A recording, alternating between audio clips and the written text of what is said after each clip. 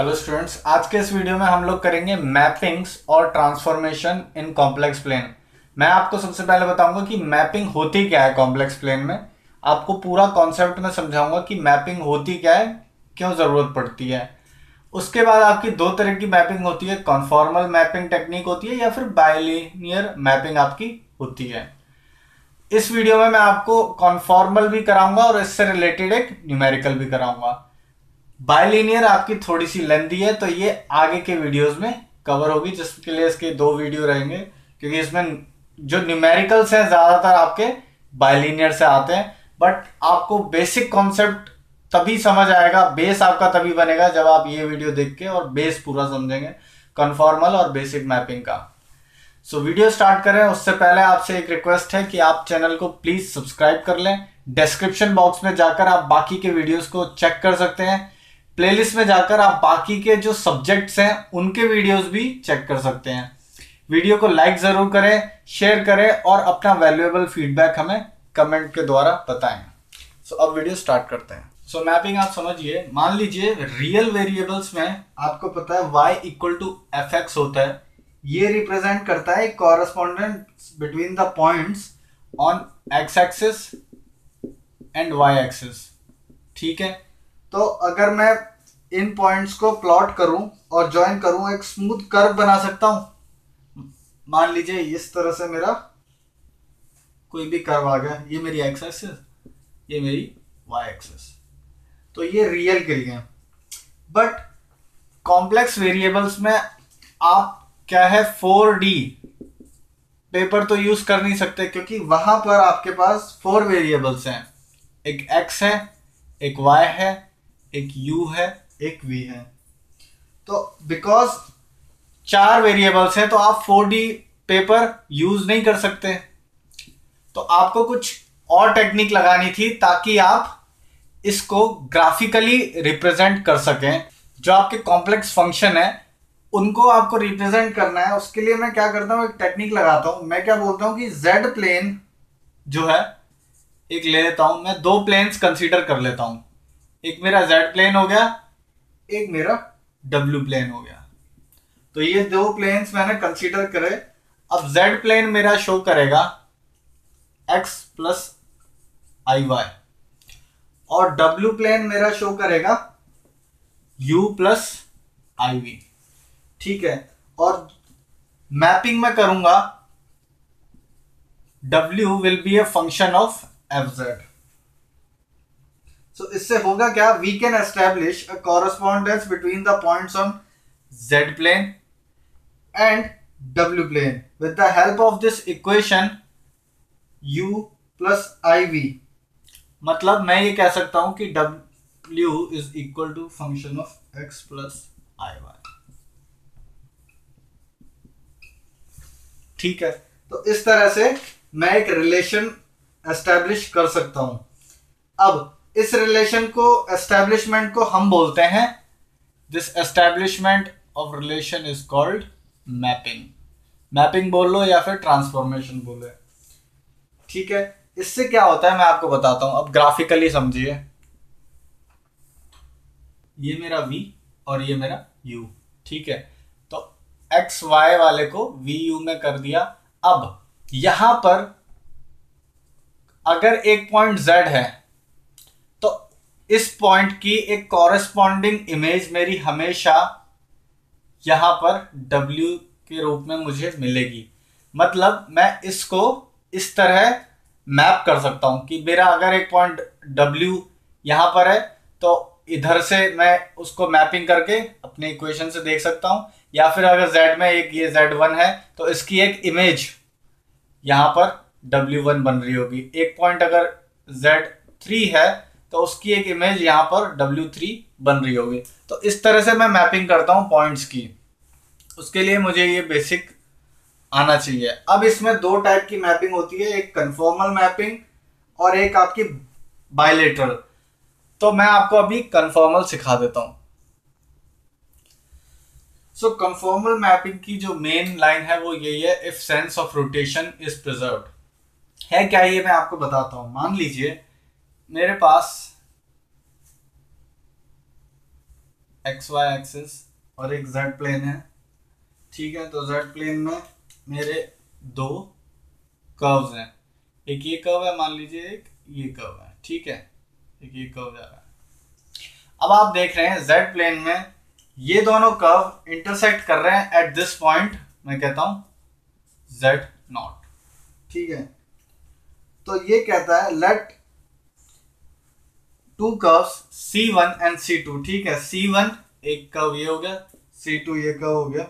Intersect in Z plane at a point Z equal to Z not at an angle alpha alpha से मतलब ये अगर देखूँ तो इस तरह से यहाँ पर जा रहा है अल्फ़ा और ये अगर देखूँ तो इसका अगर टेंजेंट डालू कर पे तो ये यहाँ पर जा रहा है अल्फ़ा ठीक है? अल्फ़ा वन अल्फ़ा टू अब ये कहता है if there corresponding images C one dash and C two dash in W plane intersect at point W not मतलब मैंने बताया था आपको जैसा जेड होगा इमेज उसकी यू वी तो सी वन के हर पॉइंट के लिए एक C1 पॉइंट यहाँ भी मिलेगा। मान लो ये पॉइंट था, इसके लिए कहीं भी एक पॉइंट यहाँ मिलेगा। तो इसका कहना यह है कि जैसा ये कर्व था, ऐसा ही कर्व अगर इधर बन रहा होगा, बिल्कुल ऐसे मान लीजिए। और जो सेंस ऑफ़ रोटेशन है, जो ये पॉइंट है, यहाँ पर जो आएगा डब्ल्यू नॉट ठीक है? जेड नॉट का मैप होके डब्ल्यू नॉट आ गया। अगर जो है सेंस ऑफ़ रोटेशन प्रिजर्व है if the sense of rotation is preserve then mapping is set to be conformal मतलब अब जो यहाँ पर इसके एंगल्स बनेंगे, मान लो ये बीटा वन और यहाँ पर एक टेंजेंट डालता हूँ बीटा टू तो ये जो एंगल्स अगर सेम आ रहे हैं तो मेरी जो मैपिंग है, वो कन्फॉर्मल है। तो इस तरह से आपकी कन्फॉर्मल होती है। समझने वाली बात यही है, मान लीजिए दो कर्व थे, दो कर्व यहाँ भी था। इस कर्व का ये बना सी वन डैश इस कर्व का ये सी टू डैश बना। इन दोनों का जो इंटरसेक्शन पॉइंट है, वहाँ से टेंजेंट डाल के देखा तो अगर सेंस ऑफ़ रोटेशन प्रिजर्व है तो कन्फॉर्मल मैपिंग है, नहीं तो नहीं है। अब इसका मैं एक क्वेश्चन करके दिखाऊँगा आपको तो थोड़ा सा समझ आएगा कि किस तरह से कन्फॉर्मल मैपिंग होती है। इसके क्वेश्चन आने के चांसेस काफ़ी कम रहते हैं बट आपको फिर भी कॉन्सेप्ट सीखना है क्वेश्चन पूरा एक चीज़ सीखनी है तो आप उसका न्यूमेरिकल नहीं सीखेंगे, तब तक वो अधूरा है। सो मेरा न्यूमेरिकल है. Discuss the conformal mapping W is equal to Z square अब ये क्वेश्चन में एग्ज़ाम में नहीं आएँगे कन्फर्मल मैपिंग के बिकॉज़ उसके लिए आपको ग्राफ की ज़रूरत होती है ग्राफ पेपर की. कैसे होती है? जब मैं सॉल्व करूँगा, आपको समझ आ जाएगा. बट कॉन्सेप्ट समझने के लिए आप प्लीज़ इसे देखें और समझें कि होता क्या है. तभी आपको डेप्थ में पता लगेगी कि मैपिंग क्या हो रही है. अब देखिए, W is equal to Z square है. तो W is equal to U plus I V और Z है मेरा X प्लस आई वाई का होल स्क्वायर ठीक है? अब इसको और देखूँ तो मैं इसको जब खोलूँगा और तो U के साथ जो खाली इसका पार्ट होगा, U will be equal to X square minus Y square और इमेजिनरी पार्ट V के साथ चला जाएगा, जो कि आएगा टू एक्स वाई ठीक है? अब कन्फर्मल मैपिंग में मुझे क्या करना है? मुझे अब ग्राफ ड्रॉ करना है। ग्राफ ड्रॉ कैसे करना है? मैं बताता हूँ। ये x, ये y ठीक है? तो सबसे पहले मैं देखूँगा, एक इक्वेशन मेरे पास ये है, एक इक्वेशन मेरे पास ये है। तो u की अलग अलग वैल्यूज़ डालूं और प्लॉट करूँ इस कर्व को। जैसे u की वैल्यू वन डालूं और प्लॉट किया ये कर्व तो ये कर्व बनेगा, उसको प्लॉट करना है अलग अलग वैल्यूज़ डाल के कैसा बनेगा। फिर एक और वैल्यू में डाल देता हूँ, मान लो फोर डाल देता हूँ वैल्यू ठीक है? तो यू की वैल्यू डाल लिए तो ये एक ये कर्व बन गया।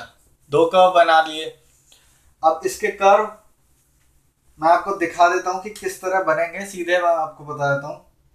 कर्व कुछ इस तरह आपके बनेंगे। ये आपने वैल्यूज़ डाल के प्लॉट कर लिए दो कर्व सिमिलरली मैं क्या करूँगा? V के लिए देखूँगा। V equal to X Y है। V की अलग अलग वैल्यूज़ डालूँगा। कोई भी वैल्यू आप चूज़ कर सकते हैं। मैं यहाँ पर वैल्यू v की ले लेता हूँ। एक टू ले लेता हूँ। एक यहाँ पर फोर ले लेता हूँ। ठीक है? तो उसके आप जब ग्राफ बनाएँगे जब आप इसके कर्व ड्रॉ करेंगे तो कुछ इस तरह से कर्व बन रहा है आपका। This is going like this ठीक है? मैं नेमिंग कर देता हूँ इसकी। ये है आपका X square minus Y square equal to one ये वाला। X square minus Y square equal to four ये है आपका X Y equal to two X Y equal to one ये आपको करना पड़ेगा। इसीलिए एग्ज़ाम में क्वेश्चन नहीं आएगा, क्योंकि इतना आपसे लेबर नहीं करवाएँगे और ग्राफ पेपर एंड उस ऑल आपको ज़रूरत पड़ेगी इसको करने के लिए। बट अब हो क्या रहा है इसमें? मैं देखूँगा कि यहाँ पर मेरा ये जो ग्राफ है, ये, एक मेरा अलग ही पूरा इंटरसेक्ट कर रहा है। अब मैंने जो अलग अलग वैल्यूज़ डाली हैं, वो मैं चेक करूँगा यूवी प्लेन में डाल के।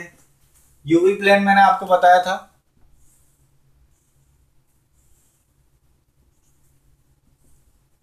यू वी मैंने क्या वैल्यूज़ डाली हैं?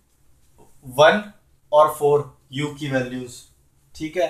तो यू की वैल्यूज़ हो गई वन और यू की मान लो फोर वैल्यू यहाँ पर। V की वैल्यू टू और फोर तो ये टू तो ये फोर अब आप देखो कि ये जो पॉइंट है, ये यहाँ मैप हो गया, ये पॉइंट यहाँ मैप हो गया, ये यहाँ पर और ये यहाँ पर। ये होती है मैपिंग आपकी। कि आपका कोई पॉइंट है, वो आपका जो एक्स वाई है जेड डोमेन है, वहाँ से आपका डब्ल्यू में मैप मैंने कर दिया। तो इस तरह से आपका मैपिंग होती है। Equal to four V equal to four V equal to two अब। इसने बोला था कन्फॉर्मल मैपिंग डिस्कस कीजिए तो हमने बना दी पूरी डिस्कस कर दी। तो इसमें हम लोग क्या कह सकते हैं कि मान लीजिए एक फ्लो ऑफ़ चैनल है। That is bounded by hyperbolas ठीक है? X Y equal to one X Y equal to two ठीक है? ट्रांसफॉर्म कर सकते हैं उसको between straight lines u equal to one U equal to two ठीक है? मैंने एक सिस्टम ऑफ़ हाइपरबोलास को ट्रांसफॉर्म कर दिया एक सिस्टम ऑफ़ स्ट्रेट लाइंस में। तो ये फ़ायदा है, अगर मैं आगे कभी जो है हायर स्टडीज़ के लिए जाऊँगा या फिर आगे कभी मुझे ज़रूरत पड़ती है कहीं ऐसी चीज़ में रिसर्च में या कहीं पर, जहाँ मुझे ऐसे प्रॉब्लम को डील करने में मुश्किल हो रही है तो मैं उस प्रॉब्लम को इस प्रॉब्लम में चेंज करके कॉम्प्लेक्स में, फिर इसको इजीली सॉल्व कर सकता हूँ। तो ये आपका यूज़ है मैपिंग का। आई होप आपको ये वीडियो समझ आया हो।